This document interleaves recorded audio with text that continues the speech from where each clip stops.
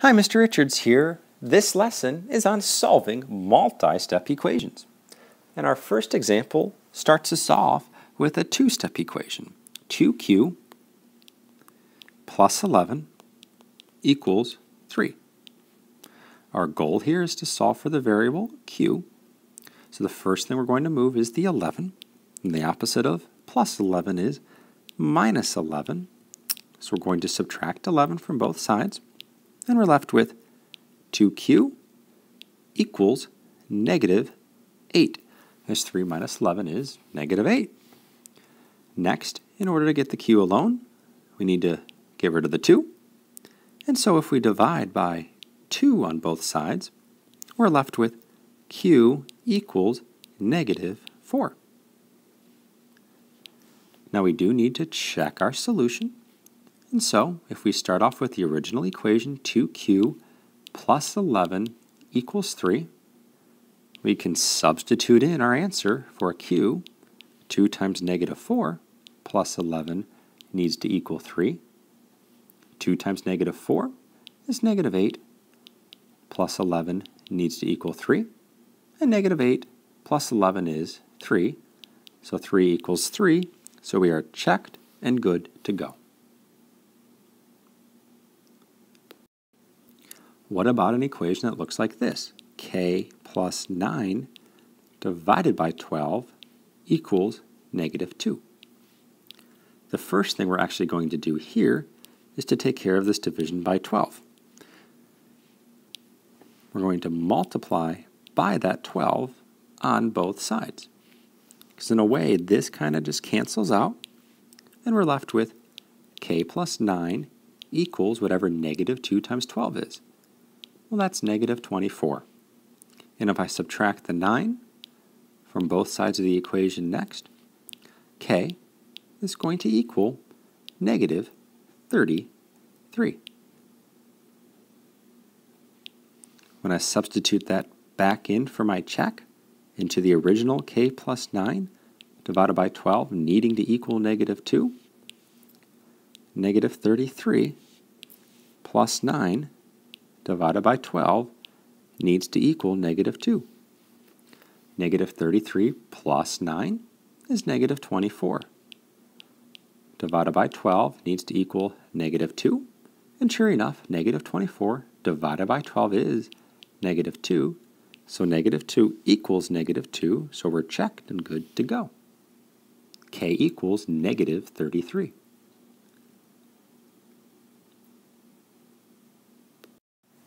Susan had a $10 coupon for the purchase of any item. She bought a coat that was on sale for one half its original price. After using the coupon, Susan paid $125 for the coat before taxes. What was the original price of the coat? Write an equation for the problem, then solve the equation. We're trying to find the original price. We know that she paid half of the original price and then used the coupon for $10.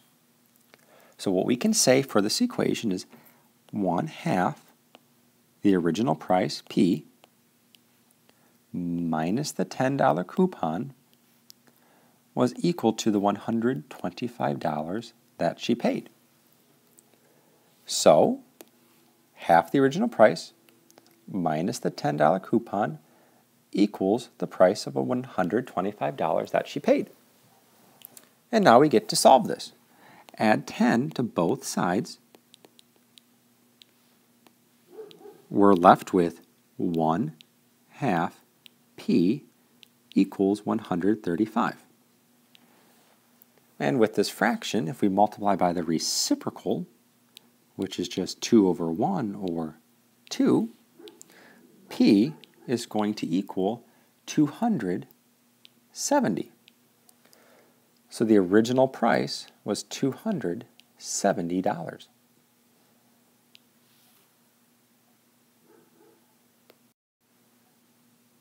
This next key concept kind of answers that question of you know you're in algebra when.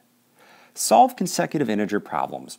Consecutive integers are integers in counting order, such as 4, 5, 6. Okay? Or if you start with n, n, n plus 1, n plus 2. Counting by 2 will result in consecutive even integers if the starting integer is even, and consecutive odd integers if the starting integer is odd. So, as you can see for consecutive integers here, integers that come in counting order such as negative 2, negative 1, 0, 1, 2, but in symbols this is n, n plus 1, n plus 2. Consecutive even integers, even integer followed by the next even integer, very similar to consecutive odd integers of odd integer followed by the next odd integer with our symbols. The key is what your n is starting as. If it starts even, we're going to stay even. If it starts odd, we're going to stay odd. Number theory is the study of numbers and the relationships between them. Write an equation for the following problem, then solve the equation and answer the problem. Find three consecutive odd integers with the sum of 57. Well, before we get into this number theory business here and this rule, I want to take a second to explain why this rule works and what this rule means. Let's think of three easy consecutive odd integers, such as 1, 3, and 5. Now, those add up to be a sum of 9, so that's clearly not our answer, and we're not going to guess and check here all the way up to 57 because we need to write an equation and solve it. Now, what if I replaced this 1 with an n? How did we get from 1 to 3? Well, we add 2. So to get from n to our next odd integer, we're going to say n plus 2. Now, to get from 1 to 5, we add 4. So we need to get from n to the one down here is going to be n plus 4. So our first odd number is n. The next one's going to be n plus 2, followed by n plus 4, and that will work every time. Now we're looking for a sum of 57. And so if we were to write this as an equation, n plus n plus 2 plus n plus 4 and set that equal to 57, we have now written the equation that we can solve. How are we going to solve this is the next piece. Combine like terms on the left side of the equation. We have an n, another n, and another n. So I have n plus n plus n. I also have this plus 2 and plus 4, so I'm going to have plus 2 plus 4, and these are all going to be equal to 57. Well, n plus n plus n, there's three n's there. So 3n plus 2 plus 4 is 6.